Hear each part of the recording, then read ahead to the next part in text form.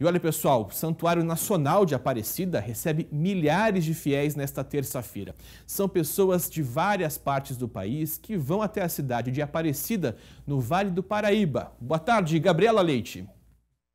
Olá, Casa Grande. Boa tarde para você, boa tarde para todos que estão acompanhando a gente de casa. Dia 12 de outubro, dia de Nossa Senhora, nós estamos aqui no Santuário Nacional de Aparecida. Cerca de 30 mil pessoas são esperadas aqui na Casa da Mãe no dia mas eu arrisco a dizer que esse número vai ser muito maior, como vocês podem ver aqui, já é grande. Esse número foi calculado no básico de visitantes do ano passado, mas no ano passado, né, era pandemia, as missas estavam houve a presença dos fiéis, então esse número deve ser muito maior.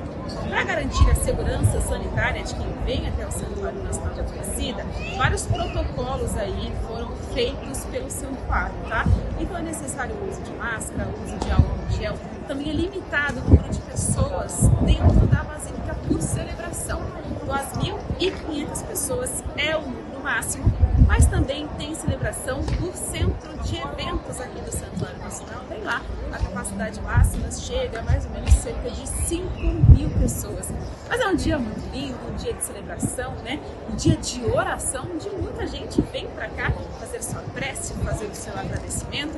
Nós vamos continuar aqui acompanhando esse dia e qualquer novidade a gente está aqui à disposição. É com você aí no estúdio. Obrigado, viu, Gabriela? Pessoal, a gente sabe que a movimentação aí vai gente do país inteiro, né? Tem os romeiros que saem vários dias antes, fazem ali todo o trabalho, muitos deles vão a pé em direção ao Santuário Nacional. Enfim, cada um com a sua fé, cada um é, ali com a sua oração, momento particular. Para quem é devoto de Nossa Senhora Aparecida, é um local que realmente marca né, esse encontro, por isso que muita gente procura a cidade de Aparecida.